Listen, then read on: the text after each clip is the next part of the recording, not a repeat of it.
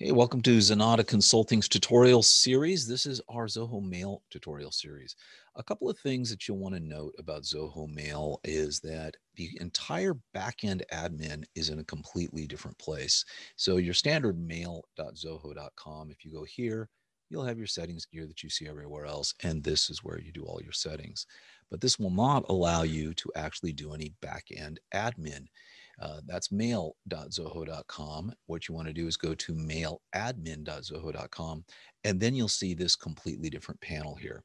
So for this session, we're going to talk about mail admin and we're really going to talk about setting up a domain. So very, very simple. All you're going to do is add a domain, type in your domain name, and then it's going to give you a way to authenticate that. It'll give you a variety of ways. Sometimes it's just putting a text string into your DNS record. Sometimes, depending on where you're hosting it, it has a direct way of verifying it just by you logging into your uh, into your hosting provider um, or wherever your DNS is. But what you're going to do is once you uh, go ahead and click into domains, you're going to want to go ahead and click on your email verification. Um, this is going to give you your MX records. These are what you're going to go ahead and set up. If you're unfamiliar with this, when you're doing your DNS, you'll have an entire section called MX. You have CNAME records, you have AID records, you have TXT records, and you have MX records. This just merely tells the server where, uh, when someone is uh, sending you email, that it needs to go over to Zoho because your mail is actually hosted over at Zoho and it's going to go ahead and send your email directly over there. Um, next is going to be your SPF record. Now, once you've got this done, if it knows if you've done authentication, it's going to know where you're hosting your DNS. Um, it will allow you to go ahead and verify. So what you need to do is you'll uh, basically create a new TXT record. And what you're going to do is take this value. So you'll merely copy that value, uh, put an at symbol for the text name or leave it blank, paste this value in and click ver. And once you're done, give it about five or 10 minutes and you click the verify SPF record and away you go. That will be, then you'll have your SPF verified. So this is just an identification method. So it says, hey, the person that is actually sending this email is actually sending this email. It's approving your IP address. It makes less of your email go to spam. The same thing can be said about the DKIM records. Uh, DKIM is basically your domain verification, domain keys identified email verification.